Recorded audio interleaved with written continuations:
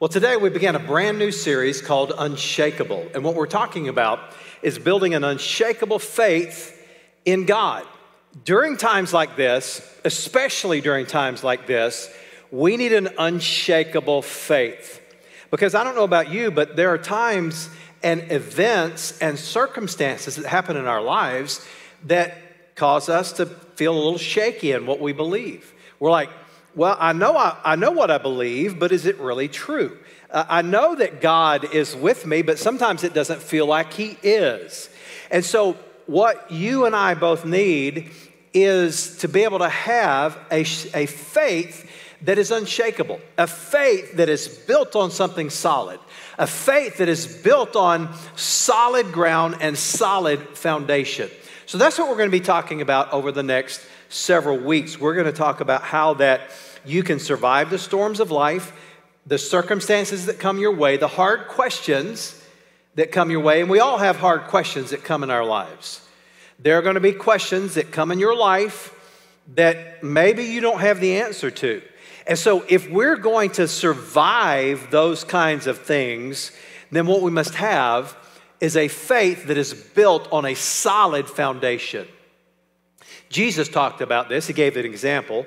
One of the great stories he told was that there was a house that was built on sand. And when the storms came, it had a great destruction. But then there was someone that built a house on a rock, a solid foundation of rock. And when the storms came, that house did not move. Why? Because it had a very solid foundation. And so, what we're going to be talking about over the next several weeks is some fundamentals, if you will, some fundamentals of the Christian faith. How is it that you can uh, implement the fundamentals of the faith that will help you be stronger in your life as a Christian? Now, I want you to understand that these messages are going to be both for new Christians and seasoned Christians like me. I became a follower of Jesus when I was eight years old. I'm 56. I was just thinking about this backstage. For 48 years now, I've been a follower of Jesus. 48 years. But do you know that in spite of what I know, in spite of the foundation that I've built, there are some people that they don't have that foundation yet, so they got to build a foundation but then there are people like me that have been a Christian for a long time. I have a strong belief. I know what God has done. I believe the Word of God. And what I need to do is not build a foundation, but I need to maintain that foundation. And so, whether you've been a Christian for just a couple of weeks, this series is for you, or if you've been a Christian a, a long time like me, you might need to maintain, do a little maintenance, a little reminding, because I know this that even for people that have a strong foundation, we must come back to the Word of God. We must build our lives on what the Bible says so that our faith will remain unshakable. When my dad uh, worked at, at, high school where I uh, graduated from, uh, he was the basketball coach. And uh, I remember trying out for the basketball team when I was in 10th grade. Now, I played basketball a lot in the backyard. I love basketball, love playing the game, but I never played organized basketball. So, my 10th grade year was the first year that I tried out. And I remember going to tryouts, and it was, it was frustrating to me because I went out, I tried out to do what? To play basketball. That's what I wanted to do. Now, as a young man, man, I, I had some moves, you know, out in the driveway, and, and I knew what I wanted to do, but I'd never played a team sport uh, up until that time. And so for the first two weeks, now get this, at basketball tryouts, at basketball practice for the first two weeks, we did not even touch a basketball. And I'm like, what is this? What is up with this? This is the craziest thing I've ever heard. We're, we're supposed to be a basketball team, but we're not touching a basketball. What we did was we ran a lot. How many know what a suicide is? I don't mean like taking your life, but like, you know, a suicide in basketball where you run back and forth and uh, you got to do it faster. And my dad had a goal that somebody was to throw up every practice. It was not a good practice unless somebody threw up. Now, this was back in the day, you know, before we had all the knowledge about things that were really bad for you. And so my dad was of the old school tradition that, um, that water was for wimps, you know. And if you were thirsty, it meant you weren't trying enough, you know? So we ran our guts out. And we did, we did drills that I didn't think had anything to do with basketball. And then when we finally were able to touch a basketball, we didn't get to shoot. We did ball handling drills and passing drills and rebounding drills. And we were just like, when are we ever going to get to play the game of basketball? Well, what we did not know was that my father was drilling the fundamentals into us. And things that we were not even aware of or not familiar with when we started out became second nature to us because of the, get this, the fundamentals, the foundational aspect. And over the next three years, uh, our team won a lot of basketball games. And my senior year, we won the state championship in North Carolina because we learned the fundamentals. And so that's what I want to do for you. Over the next several weeks, we want to learn some fundamentals, and we're going to learn how to have an unshakable faith in God. And today, the first thing we're going to do, we're going to talk about how to have an unshakable faith in God's Word. And when I say God's Word, I'm talking about the Bible. Now, if you're new to Christianity, new to faith, then maybe there are some term, there's some terms that may confuse you. When we say the Word of God, we're referring to the Bible. And there's a reason we call it God's Word, is because what the Bible calls itself is God's Word. It is from God. And so we're going to read this today, and we're going to study this a little bit today, uh, just so that you and I can build a firm foundation of faith. Now, the reason that we're starting out with talking about the Word of God first, rather than God or Jesus or, or whatever, and those are certainly important topics that we're going to talk about during this series, but the Bible is how we get to know God. The Bible is how we get to know God's ways. The Bible is how we get to know how to please God.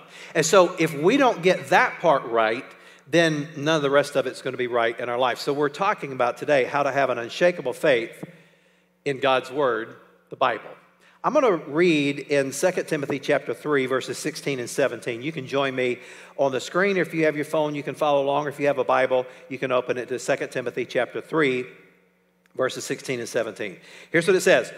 All scripture is inspired by God. Now, how much scripture is inspired by God? All, all of it. Now, what's important is to know what is Scripture and what isn't, right? Because Scripture is inspired by God. Now, I want you to see the word inspired. The word inspired is maybe a different word than you think. Um, I don't know about you, but when I watch, was it Rocky 3 or Rocky 4, where the Eye of the Tiger, remember that song? I can work out for like three minutes straight. You know, I mean, I'm so inspired and I'm like ready to work out and I'm listening to that song, you know, Eye of the Tiger, and boy, it inspires you, you know. Maybe there's something that inspires you like that. Well, that's not what that word means. It's not all scripture gets excited by God. The word inspired means God breathed. And so when it says all scripture is inspired by God, it means that God is responsible for Scripture. Now, there are two things that are true about Scripture, about its author it's written by God and it's written by man. Now, you say, well, how can that be true? Well, there are many things in the Bible that are like that. Jesus Christ was both God, 100% God, but he's also 100% human. That way he could die for our sins. That way he could relate to us. And so there are many truths like that. The Bible is written by God, but God used men as instruments to write it. And it was not, they were not just dictated to. God used their personality and their brain and their experience, but it was God breathed. In fact, the very first part of Scripture was written by the finger of God when God gave the law to Moses. And then Moses later wrote the first five books of the Bible. So uh, all scripture is inspired by God. It's God breathed. It's from God. God used human authors to write it, but he also, it is from him. So that's very important. It is the word of God. All scripture is inspired by God, and it's useful. Now, there are some things that we do that are not very useful. You might spend a whole lot of time on Facebook. I'm not sure if that's useful or not. Some of it may be, but a lot of it, in my opinion, is a waste of time. Uh, you might spend a whole lot of time on uh, social media, or maybe you spend a whole lot of time watching Netflix or one of the other uh, streaming services. Not everything we do is useful. But thank God the Word of God is useful in our lives. It's useful when you hear it taught. It's useful when you read it. It's useful when you meditate upon it. It's useful when you uh, allow it to sink into your life. All scripture is inspired by God and it's useful. Notice what it's useful for to teach us what is true. Can I just offer this? We need a North Star in our lives. We need something that is true that we navigate our life by. If there is no truth, you're open simply to relativism. And if there are no truths, if there is no right and wrong, we live a pure, miserable existence. If there's no truth, it doesn't really matter. Here's the thing truthfully, if there's no truth, then I can just break into your house and steal your stuff. And you say, well, that, that would be wrong. Well, that's just according to you. If there's no objective standard, how do I know what is right and wrong? Okay? So the Word of God, it's our standard. It's useful. It teaches us what is true. It helps us realize what is wrong in our lives. Man, I need that. I read devotions this morning, reading out of the book of Romans about what God's doing in my life, what I need to correct in my life. God wants you to get better. It straightens us out and teaches us to do what is right. It is God's way of preparing us in every way, fully equipped for every good thing that God wants us to do. Now, what does that tell us? It tells us that um, God planned you that before you were ever even a Christian, before you were ever even saved, God had a plan for your life. He knew you were going to be born again. He knew that He had a plan for you to do the right things, to make a difference, not just to be like a knot on a log, but rather to be a person that makes a difference in this world. Now, the interesting thing is, this passage of Scripture, written by the Apostle Paul, it tells us that the Bible is what helps us to discover truth, to discover a North Star in our life, to have direction in our life, to know what is true and what is false, to know what is right and what is wrong, to know how to get better in our lives, to know what we should get rid of in our lives. It teaches us, but it also equips us. So, in other words, if you want to please God, we can take from this passage of Scripture. If you want to please God with your life, if you want to do good things with your life, if you want to make a difference, if you want to be a person that lives the kind of life that God intended for you to live, there's one thing that you need to do in your life, and you need to get the Word of God into your life. You need to get the Bible into your life. And you say, How do you do that? Well, there are really a couple ways you do it. You hear the teaching of the Word of God, like you're doing now. You watch it online, you listen to a podcast, you hear the teaching of the Word of God, but you also read the Word of God. Now, I know that there's some people that are not adept at reading when you read. Uh, it's difficult for you, it's difficult for you to comprehend, uh, but you do better by hearing stuff. Well, the good news is you can get the free app, the free Bible app on your phone, and you can have it read to you. You can have it read out loud to you, and it's absolutely free. There is no excuse for any person not to have the Bible in their life. And so it's all important that we learn how to have an unshakable faith in the Word of God. Now, I'm going to give you three thoughts today. I'll be done. Uh, now, some of this is a little academic, so you'll have to uh, hang with me a little bit. But I believe that we need to hear this to build a strong and a firm foundation in our lives. Um, there are three thoughts I want you to get on how you can build an unshakable faith in the Bible. Because here's what I know we live in a culture that does not have faith in the Word of God. We live in a culture that doubts whether it's even authentic. We live in a culture that many people, and by the way, there are not as many people that doubt it as you think. You can look at it online or watch the Discovery Channel or whatever, uh, you know, these TV shows are. Would it shock you to know that these television shows are going to tell you something that may not be true in order to get their ratings up? That wouldn't be shocking to anybody, would it? The truth of the matter is, we can know the truth and we can have confidence in the Word of God. So I'm gonna give you three thoughts on how to do that. Number one, very simple believe the Bible is God's Word. That's where it starts. You must have faith that God's Word is true. You must have faith that what God tells us in His Word is true. Now you may say, well, what about all of the discrepancies in the Bible? That causes me to doubt. Now, I'm not going to suggest to you that there are not questions or that there are not problematic texts, but here's where I stand, and I think this is where you need to stand. If I don't understand something about the Bible, I don't assume that the Bible is wrong. I assume that my understanding is incorrect. Okay? And when you and I begin to believe that the Bible is the Word of God, God does not leave us out there like some cult that has no accountability. He doesn't require us to have faith without reason. In fact, the Bible tells us, Come now, let us reason together, says the Lord. God wants you to use your brain. God wants you to follow evidence, but the overwhelming evidence is that the Bible is from God, that it is God's Word. Now, let me just give you a few thoughts here. The Bible was written over 1,500 years by 40 different authors from different walks of life. There are 66 books in the Bible that make up the, the one book of the Bible and they were all written at different times. They were written in three different languages Greek, Hebrew, and Aramaic. The Old Testament written in, in mostly Hebrew and a little bit of Aramaic, the New Testament written in Koine Greek. Um, it was written on three different continents. It was written by kings and prime ministers and fishermen and tax collectors and priests and soldiers and shepherds and statesmen and physicians and rabbis and prophets and those with advanced education all the way down to common people. And there is an Old Testament and a New Testament. And for those of you that don't know, maybe you're new to Christian faith, the Old Testament was written before Jesus, and the New Testament was written after Jesus. That's a very simple way to remember uh, how that is, uh, is written. So the Bible is inspired by God. That's what we mean when we say God breathed. But we also believe here at Avalon Church that the Bible is inerrant. In other words, it's without error. Now, what do we mean by that? You got to be careful that you don't misuse or misunderstand a word. When we say the Bible is without error, we're not suggesting that there have never been any mistakes in copying Scripture.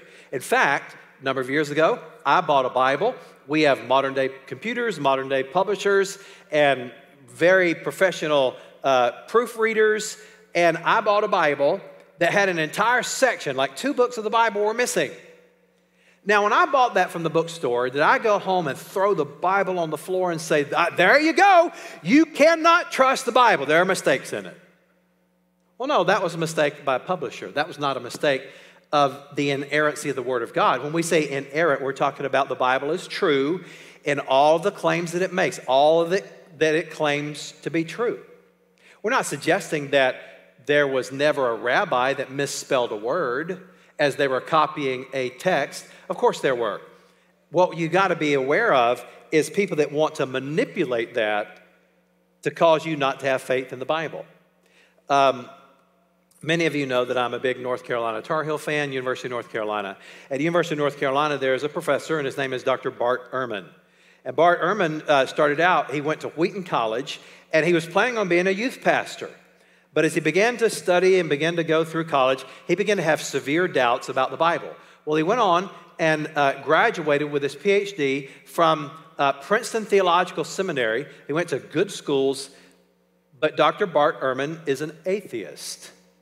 He is a New Testament scholar, there's no doubt about that, and he teaches at the University of North Carolina.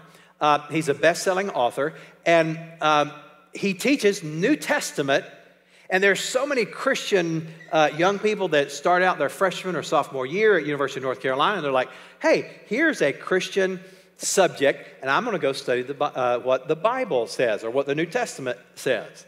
Well, the problem is he is not just an atheist; he is an atheist evangelist. And what do I mean by that? In other words, he tries to recruit other people to be atheists. And one of the tactics he uses is he says, How many of you freshmen believe the Bible is God's Word? Most of them raise their hand. He said, Well, which word are you talking about? And he goes on to talk about how that there are more variants, in other words, there are different, more different words in the Greek manuscripts than there are actual words. Well, if you stop and think about that, that's not even possible, okay? But what he does is, for example, let's just assume that there are a thousand manuscripts of the Gospel of John, and let's say God so loved the world that he gave his only begotten Son, that whosoever believeth in him should not perish but have everlasting life. Let's say that one of the scribes that was copying this, he did not capitalize the, the letter G for the name God. Unlikely that he would do that, but let's just say that he did. He misspelled a word. Well, in the way they count that, that one misspelling will be a thousand, because there's a thousand manuscripts, a thousand variants. And so what happens is people often begin to hear things like this, and because they're not uh, educated with a seminary education, they begin to doubt the authenticity of the Word of God. I can tell you this with absolute certainty. Uh, there are textual variants like that, yes, but 99% of them are just simply misspellings or punctuations or skipping a line or repeating a line twice or whatever. And so there are no variants at all that affect any truth, any teaching, any doctrine from the Word of God. So when we say that the Bible is without error, that's what we mean is that when God breathed it, when the authors originally wrote it, that it was without error. Now, does that mean uh, that the Bible is uh, against science. No, it does not. In fact, once again, I always assume that if there's something that I misunderstand or something that seems to be a contradiction, I just assume that my understanding of the Bible is not correct or my interpretation of that is not correct. Because although I believe the Bible is without error, I do not believe that mankind's interpretation is without error. Does that make sense? Okay? So, the Bible, you got to believe that the Bible is the Word of God. The Bible claims to be the Word of God. Listen to what it says in 1 Peter chapter 1 verse 23. This little letter was written by the apostle Peter, one of Jesus' 12 disciples, one of the leading apostles when the church started. He said, "For you have been born again. Your new life did not come from your earthly parents because the life they gave you will end in death, but this new life will last forever. Notice, because it comes from the eternal, living Word of God. So we can believe that the Bible is God's Word. One reason is because the authors claimed it was the Word of God. Once again, Peter writes this. He said, No prophecy ever came from what a person wanted to say, but people led by the Holy Spirit spoke words from God. So he was claiming that not only was this the Word of God, but what these authors wrote was from God. These are words actually from God. Jesus himself claimed that the Bible is the Word of God. Listen to what it says in John 17 17. Sanctify them by the truth. Your word is truth. And by the way, the New Testament was not even written at that point. He was talking about the Old Testament. So your word is truth. Ancient manuscripts offer proof. Did you know that there are some 29,000 ancient manuscripts of the Word of God. Now, I know for some of you that doesn't really matter, um, but the fact is, it is the most studied, the most critiqued um, book in the history of the world. And so we can trust that there's so much ancient manuscript evidence that we um, can, can trust in. Also, one of the most powerful things that I believe show that shows that the Bible is God's word is the fulfillment of prophecy. Uh, the Bible is 27% prophetic in nature. In other words, 27% of the words in the Bible are prophecies. Okay? So, when we understand the Word of God, one of the important things about understanding how to interpret the Word of God is understanding that the Bible, though it is one book, it's written, it's 66 different books written by 40 different authors, and there are different genres of literature. Now, make no mistake, the Bible is literature. It is, in my opinion, the greatest literature in the history of the world. But there are histories. The, the uh, book of Genesis is a book of history. Now, once again, we need to understand if we're going to interpret what the Bible uh, says to be true, then we must understand how these things work. Did you know that ancient histories don't work like modern history. If you read a modern day history book, what are they going to do? They're going to give you dates. the signing of the Declaration of Independence uh, in 1776, right? We celebrate July 4th as Independence Day. That's an important date. You couldn't just, like in modern history, you couldn't just make up a date uh, because that's a very important thing. You, those are important things. But you know that in ancient times, those uh, dates and things of that nature were not important. Because what they did with history was write a narrative, they wrote a story. And so when you read the Old Testament and understand that there are histories in it, you got to understand how it's written. There's poetry and music in the Bible. Did you know that the book of Psalms and the book of Proverbs and uh, the book of Ecclesiastes and Song of Solomon or Song of Songs and the book of Job, that these are poetic books? Now, they're not 100% poetry. Some of it is uh, poetic in nature, some of it is song in nature, some of it is narrative in nature, but these are poetic books. And so let me just give you an example.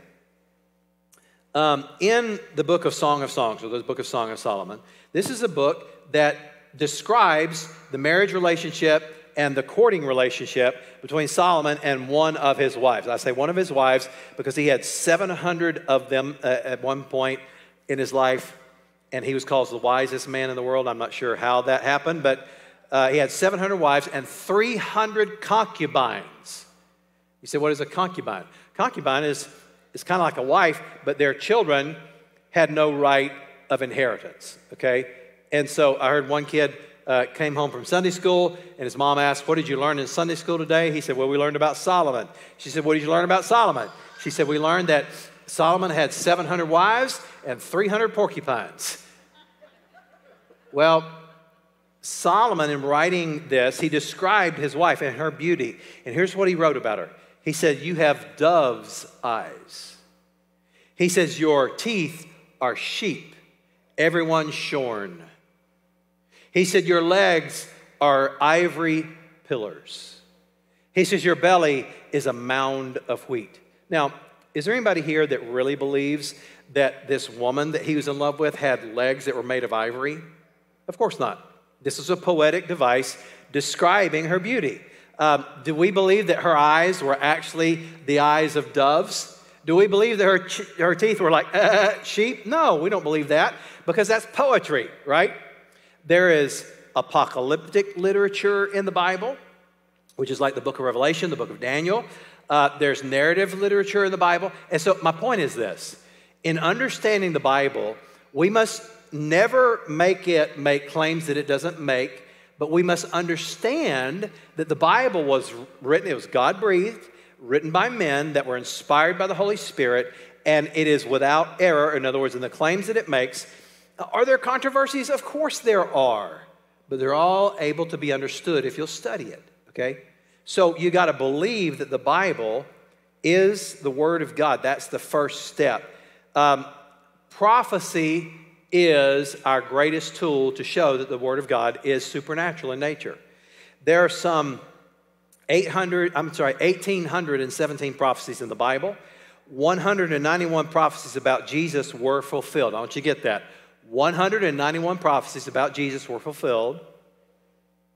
Did you know that for eight or 10 of those to be fulfilled is a math by accident without supernatural um, maintenance involved in that? Did you know that mathematically, mathematicians have done this, it is virtually impossible for it not to have had some supernatural knowledge, some supernatural author for just 10 prophecies about Jesus. For example, it was prophesied about Jesus that he would uh, be born of a virgin. It was prophesied about Jesus that he would be born in Bethlehem. It was prophesied about Jesus that he would live for a time in Egypt. These were prophecies that no one had any way of knowing that that was true other than from God. And so, prophecies give us trust in the Word of God. Well, let me just give you these next two thoughts. They won't be as long. The second thing you do to build an unshakable faith in the Word of God is you got to receive the truth of the Word of God. It's one thing to say you believe it, it's another thing to do what it says. If it is God's word, I am going to be held accountable for it, for what I do, how I respond to it, how I listen to it, okay? If it is the word of God, then I must be held accountable by it. Here's the thing about receiving the truth of the Word of God if there is no truth, then we have no standard, and our view of God is completely subjective. The first few years of my Christian life as a young man, I saw God as the big guy in the sky with a stick that was going to whack me upside the head every chance he got, because that, that was my vision of God. I did not see God as a loving God, a caring God that He is. So, my view of God is very important. And how do I get the right view of God? From the Bible. That's how I get the right view of God.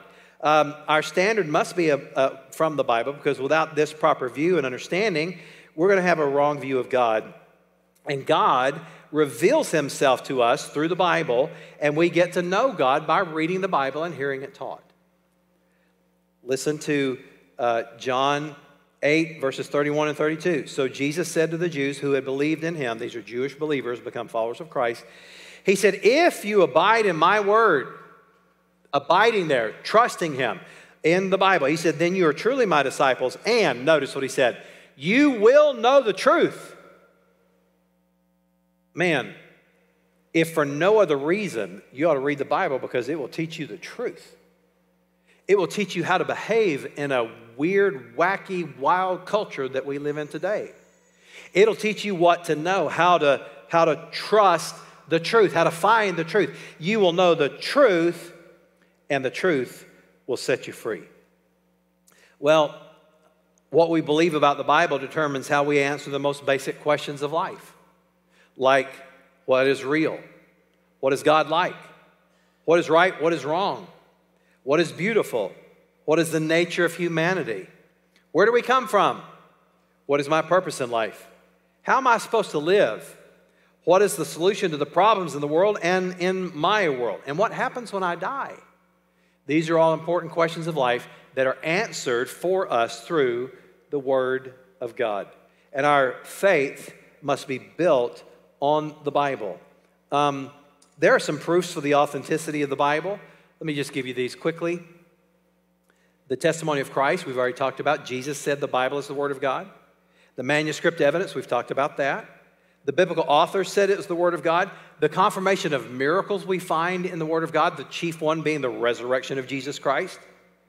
Uh, by the way, I don't know if you get inundated with stuff like this, but on YouTube, on my YouTube channel, um, I get inundated with, because I, I watch a lot of Christian apologetics, I get inundated with atheist uh, people that want to put out nonsense on YouTube about their atheistic views. And the majority of them, and I'm, I'm being, trying to be kind here, the majority of them are uneducated, uninformed, and have absolutely no idea what they're talking about. So I, I, I sometimes look at it. Um, and the, but the fact is, when you begin to uh, talk about what the Bible actually is, what its claims are, and the proofs that it offers, then you don't really have to worry about what some nonsensical atheistic person has to say. You can trust the Word of God.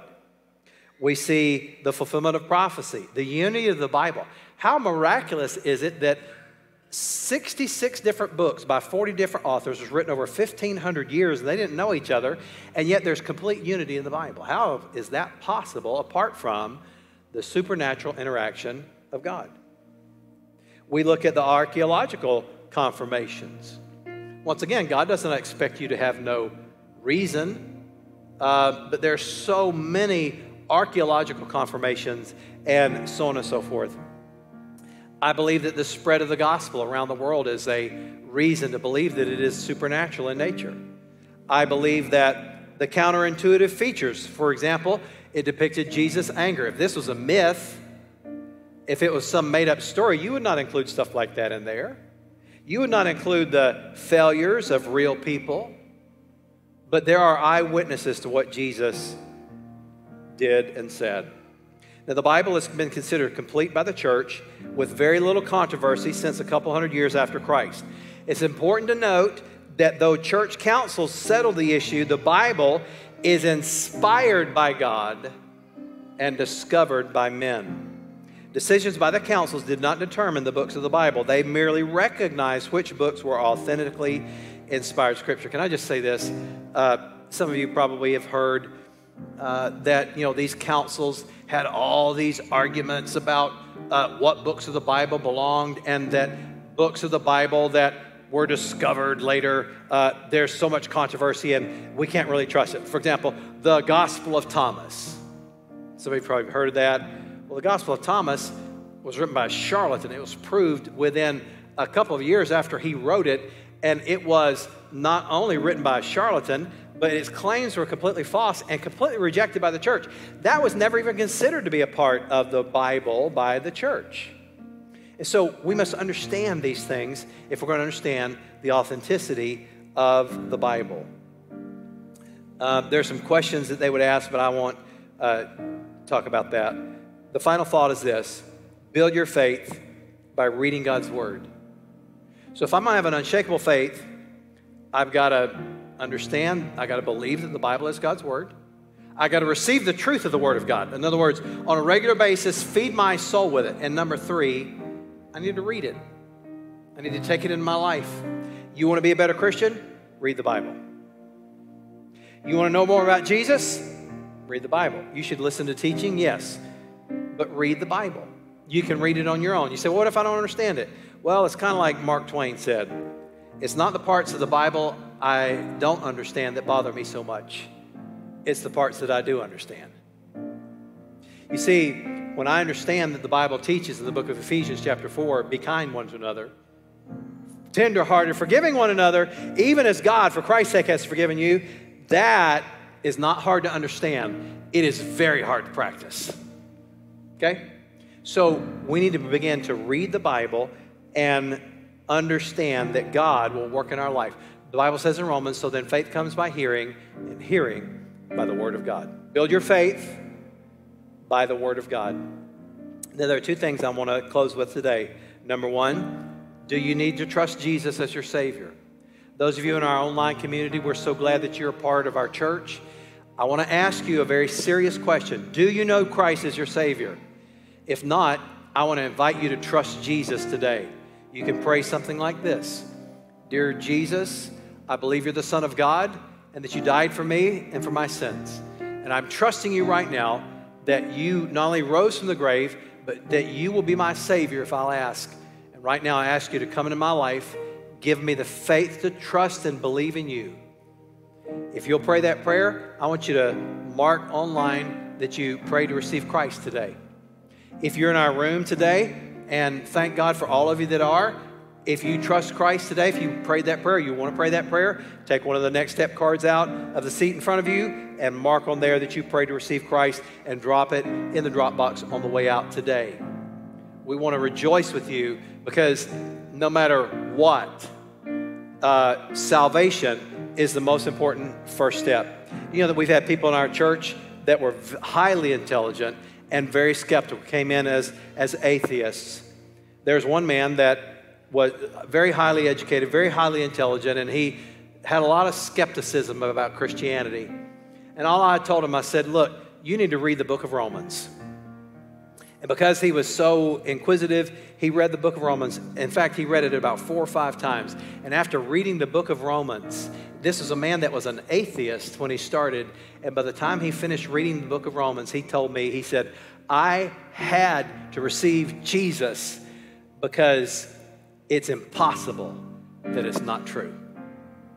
I love that. And the fact is, you and I can receive Christ today if we never have. And then the other question is this Are you building your life on an unshakable foundation of the Word of God? Do you read the Bible? In fact, let me just let's get real honest, okay? A lot of times in church, we're like, let's bow our heads and have nice music playing so you get in the mood. But let's just be real honest today. How many would say, I read my Bible but not as consistently as I should. Would you raise your hand? Just being honest. Majority of the crowd. That's what I thought. Because you know what? That's a struggle that every Christian has. So you don't need to beat yourself up. If you said, I'm going to read the Bible through this year, and by the end of January you'd already missed a few days, don't give up. Start back, okay? And, and, and it's important that you read the Bible it's important you can listen to it. You listen to it taught. I mean, there are many, many ways. I get it if you're not a good reader. if you don't receive instruction well that way, if you're more audio uh, or visual learner or whatever, um, then use what works. That's my point. And so I want to ask this question then for those of you that were honest and said, I, I need to read my Bible more. How many would say today, Pastor, I not only want you to pray that God will help me be more faithful in reading my Bible, but I'm making a commitment today because I need to build the foundation of my faith. I'm making a commitment that this week, and I'm not going to ask you to make a commitment for the rest of your life, but this next week, that I'm going to read the Bible at least five times. At least five times. Now, before you raise your hand, let me explain that. I don't mean you have to read 10 chapters every time or the entire book of Genesis, okay? But like you're going to read the Bible. You can get on the Bible app, you can uh, read just a few verses a day, but for five out of the next seven days, by next Sunday, I'm going to read the Bible at least five times. Would you raise your hand? Heavenly Father, we commit this to you. We commit our faith to you, our belief to you. We commit um, our trust in the Word of God to you. Lord, for those that pray to receive Christ today, that joined us around the world and around our state online, I pray that this will be the beginning of a beautiful relationship, that you'd help them get more connected so they can grow in their faith. For everyone that says, I'm going to read the Bible this week, God, I pray that you'd help us to remember that. Uh, set a reminder on our phone. Remind ourselves daily. Do it when we get up in the morning. Do it at lunchtime or at night before we go to bed. But whatever we choose, Lord, help us to be consistent with it. And Lord, help us to know that we will be stronger for it. For it's in Jesus' name that I pray and ask all these things. Amen. Amen. Thanks for joining us at Avalon Church. Share this message with a friend and make sure to subscribe so you don't miss a single video. You can also join us every Sunday live on the Avalon Church Facebook page. If you feel led to give and support our mission of bringing people wherever they are into a growing relationship with Jesus Christ, you can do so by clicking the Give button. Thanks again for joining us. We'll see you next time.